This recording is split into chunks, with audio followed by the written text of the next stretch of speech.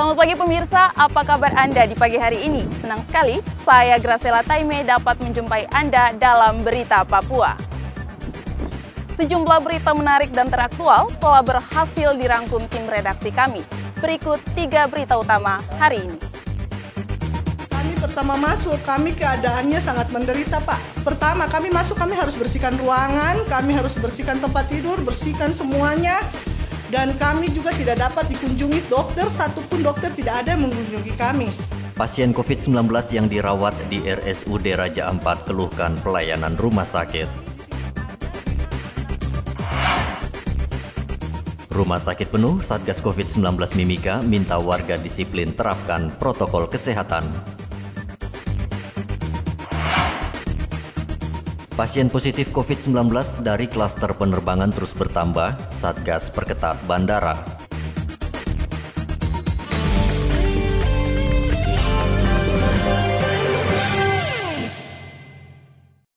Kami pertama masuk, kami keadaannya sangat menderita Pak. Pertama kami masuk, kami harus bersihkan ruangan, kami harus bersihkan tempat tidur, bersihkan semuanya.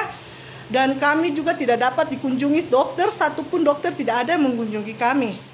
Seorang pasien COVID-19 di Kabupaten Raja Ampat, Papua Barat mengeluhkan pelayanan serta ruang karantina yang menurutnya tidak layak. Pernah diperhatikan sama dokter. Yang kedua Pak, kami juga tidak pernah mendapatkan asupan makanan ya. Memang makan kami ditanggung baik, tetapi asupan vitamin untuk kami sama sekali tidak ada. Dan waktu kami menelpon dibilangnya kami katanya tidak ada anggaran untuk biaya pembelian vitamin. Keadaan kami Oktavina Tonapa dalam videonya yang berdurasi 4 menit beredar luas di media sosial. Dirinya mengeluhkan pelayanan serta ruang karantina yang tidak memadai, bahkan ia dan 11 pasien lainnya harus membersihkan sendiri ruangan tersebut. Kami pertama masuk, kami keadaannya sangat menderita Pak. Pertama kami masuk, kami harus bersihkan ruangan, kami harus bersihkan tempat tidur, bersihkan semuanya. Dan kami juga tidak dapat dikunjungi dokter, satupun dokter tidak ada yang mengunjungi kami. Di sini kami dirawat, kami berjumlah 12 orang. Dan di dalamnya kami di sini ada 5 anak balita yang tidak pernah diperhatikan sama dokter. Yang kedua Pak, kami juga tidak pernah mendapatkan asupan makanan ya memang makan kami ditanggung baik tetapi asupan vitamin untuk kami sama hmm. sekali tidak ada.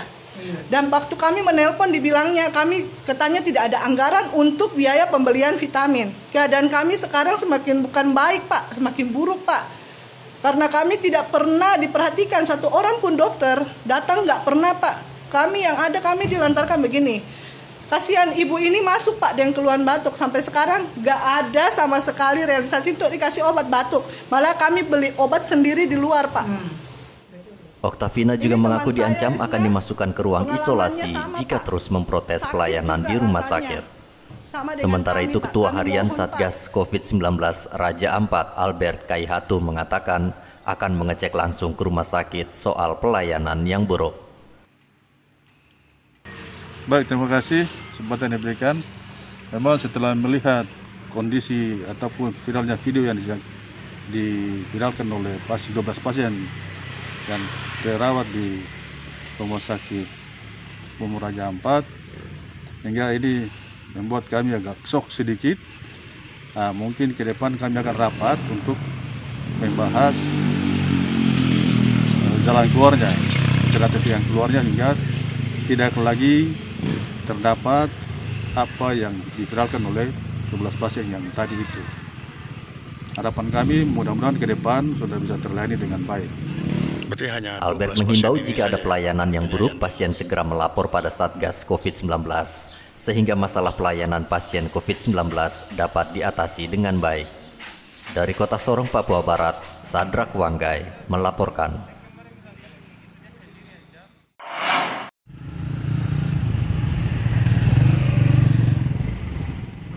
Pasien COVID-19 di Mimika terus meningkat. Data per 29 September, pasien COVID-19 bertambah 9 orang. Sementara pasien meninggal dunia karena COVID-19 dalam sehari mencapai 4 pasien. Juru bicara Satgas COVID-19 Mimika Reynold Ubra mengatakan pihaknya kekurangan tenaga medis dan ruangan perawatan COVID-19. Gas medis yang sehari rata-rata waktu sebelum COVID itu hanya 20 20 tabung dalam 24 jam, tapi sekarang adalah per hari dalam 24 jam 60 tabung. RSMM, RSUD, jadi yang memproduksi gas medis pun itu kan. Uh, yang meninggal ada usia empat, di atas di atas 45 tahun dengan komorbid. Tiga pasien COVID, satu probable. Gitu. Saya pikir uh, contoh di RSUD saat ini sebenarnya sedang membutuhkan tenaga anestesi. Karena khusus untuk yang ada di ruang ventilator pasien yang berat itu hanya satu dokter anestesi. Itu faktor kelelahan mempengaruhi tapi dari RSUD siap untuk meng-hire tenaga dokter. Saya pikir dinas kesehatan provinsi juga siap. Ada sih bantuan dari Kementerian Kesehatan lewat program dokter spesialis tapi nanti baru Desember. Sementara perjalanan ini masih ada masih jalan kondisi yang hari ini adalah kami harus menyelamatkan orang yang harus yang orang COVID yang tidak boleh mati Warga diminta disiplin dalam menerapkan protokol kesehatan sehingga penyebaran COVID-19 di Mimika dapat ditekan. Pemda Mimika membatasi aktivitas warganya hanya sampai pukul 9 malam. Pembatasan dilakukan karena kasus COVID-19 terus meningkat di Mimika. Igobat Momolin melaporkan dari Mimika, Papua.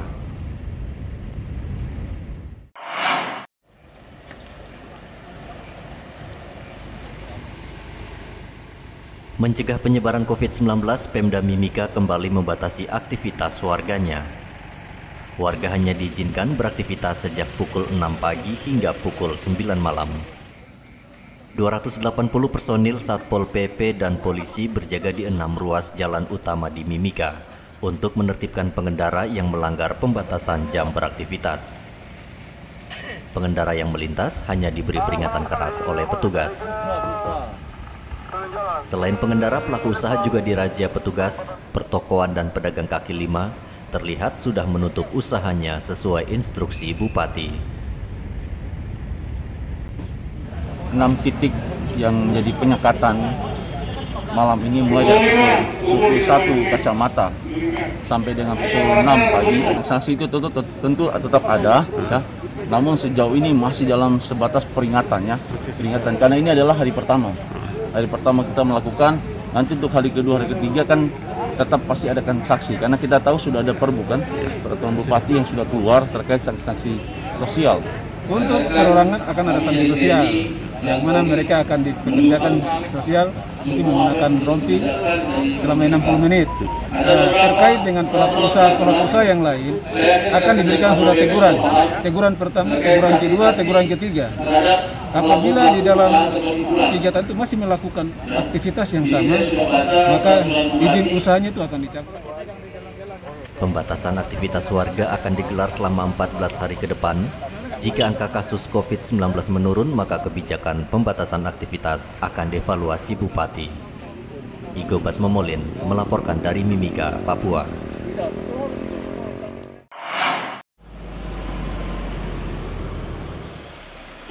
Pemerintah kota Jayapura terus menertibkan warganya yang masih bandel. Ratusan pengendara yang melintas di Jalan Holtekam, HB Pura, dan Etrop tidak pakai masker Pengendara yang melanggar protokol kesehatan itu langsung dihukum membersihkan lingkungan dan dikenai sanksi sebesar Rp200.000.